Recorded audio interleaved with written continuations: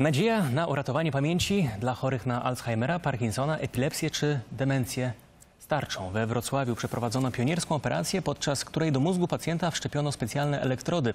Te odczytują i nagrywają, co się w nim dzieje podczas procesu zapamiętywania słów. Lekarze liczą na przełom w badaniu mechanizmów ludzkiej pamięci. Start jedynego takiego programu w Polsce obserwował Tomasz Mildyn. Zaczynamy?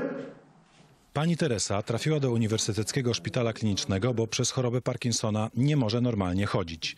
Lekarze wszczepili w jej mózg elektrody, których działanie widać gołym okiem. Chyba nie ma nawet lepszej różnicy niż teraz w chodzie. Teraz lekarze z Wrocławia i naukowcy z Politechniki Gdańskiej wspólnie idą dalej. Próbujemy skorzystać z tego e, niezwykłego, e, niezwykłej sposobności, żeby nagrywać z mózgu ludzkiego, żeby odkryć, jak działa pamięć i funkcje umysłu. Celem tej drogi jest tak samo spektakularna pomoc pacjentom, którym choroby mózgu zabierają nie swobodę poruszania, a umiejętność zapamiętywania i tworzenia wspomnień. Mamy pomysł naukowy, mamy badania na zwierzętach, czyli badania przedkliniczne, a teraz przychodzi czas na badania kliniczne u pacjentów. Dlatego podczas operacji umożliwiających im normalne chodzenie, dodatkowo na 15 minut umieszcza się w mózgu elektrodę, która odczytuje, co dzieje się w umyśle podczas specjalnego testu pamięci. deszcz, długopis, książę. Operowany widzi na ekranie słowa, zapamiętuje je i po chwili wypowiada. Cały czas jest podłączony do superkomputera. To jest jak wygląda zapis e, z tego, co się dzieje w tej chwili w mózgu i umyśle pacjenta.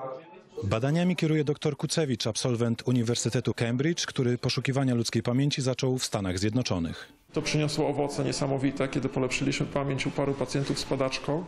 Dalszych sukcesów postanowił szukać w Polsce razem z doktorem Pawłem Tabakowem, którego zespół neurochirurgów w 2012 roku jako pierwszy na świecie postawił na nogi sparaliżowanego pacjenta z przerwanym rdzeniem kręgowym. Jest to bardzo poważne uszkodzenie.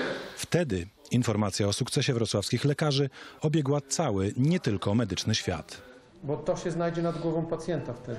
Teraz przed zespołem jeszcze trudniejsze zadania, ale sukces byłby kolejnym medycznym przełomem. Będziemy mogli e, w przyszłości zaproponować leczenie, terapię, realną terapię dla pacjentów, u których dochodzi w sposób szybszy niż naturalnie do zaburzeń pamięci. czyli cierpiących na chorobę Parkinsona, Alzheimera, demencję starczą, ale także pacjentów z wieloma innymi chorobami mózgu, którzy chcieliby wrócić do normalnego funkcjonowania, chcieliby prowadzić swoje normalne, wcześniejsze życie.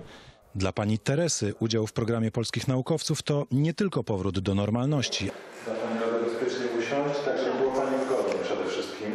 ale szansa na pomoc innym i ogromne przeżycie. Wielka rzecz. I nadzieja dla chorych przede wszystkim.